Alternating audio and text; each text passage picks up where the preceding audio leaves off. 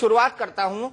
जिस लोकपाल के मूवमेंट को आप लेकर चले थे अरविंद केजरीवाल ने कहा कि हम आम आदमी पार्टी में भी आंतरिक लोकपाल बनाएँगे। उन्होंने बनाया भी।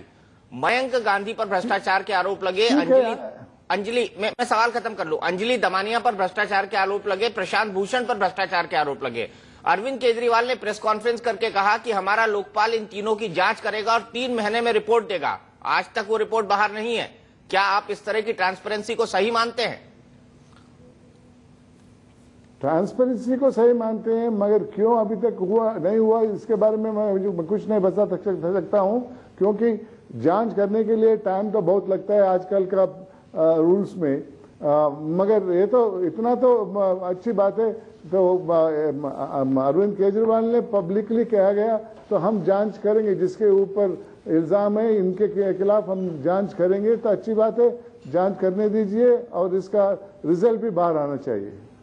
क्या आपको नहीं लगता कि अरविंद केजरीवाल की राजनीतिक पार्टी महत्व की बनाने की महत्वाकांक्षा ने एक आंदोलन की हत्या कर दी? नहीं, मैं ऐसा नहीं मानता हूँ। सिर्फ़ अरविंद जी अकेले इस टीम को बनाया नहीं थोड़ा भी नहीं। अन्ना जी ने अभी मैंने सुना है, अन्ना जी ने अपनी मंच तो अभी स्ट्रांग कर रहे हैं। बहुत आर्मी और एडमिनिस्ट्रेशन का लोग जिनके साथ हैं। जब अन्ना भारत के टूर करेंगे फिर वही सपोर्ट अन्ना जी को मिलेगा। जो अन्ना जी का सपोर्टर्स था, वो अभी भी अन्ना जी के साथ है। वो राज्य पॉलिटिक्स में नहीं है। वो तो भ्रष्टाचार के खिलाफ लड़ने वाले हैं। वो अभी भी अन्ना के साथ है, मगर अभी अन्ना का मंच इतना स्ट्रांग नहीं है, इसीलिए वो बाहर नहीं आते। लेकिन जस्टिस हेगड़े जी, आपको नहीं लगता कि टीम तो अब बढ़ गई है? जिस टीम को बांटने की कोशिश के आरोप आपने सरकार पर लगाए हैं, वो लोगों की महत्वाकांक्षा के कारण ही बढ़ गई है। इसका क्या संदेश गया है देश के अंदर?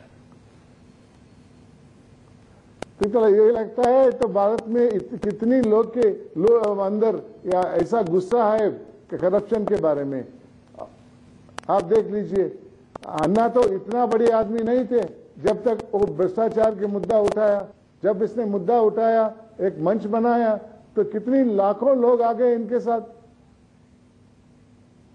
बाकी सब लोग पा- पा- पार्टी से कांग्रेस हो बीजेपी हो जो भी हो वो तो अभी बहुत साल से हैं अभी। आपको लगता है चांसेस है? मंच ज़्यादातर लोगों का मान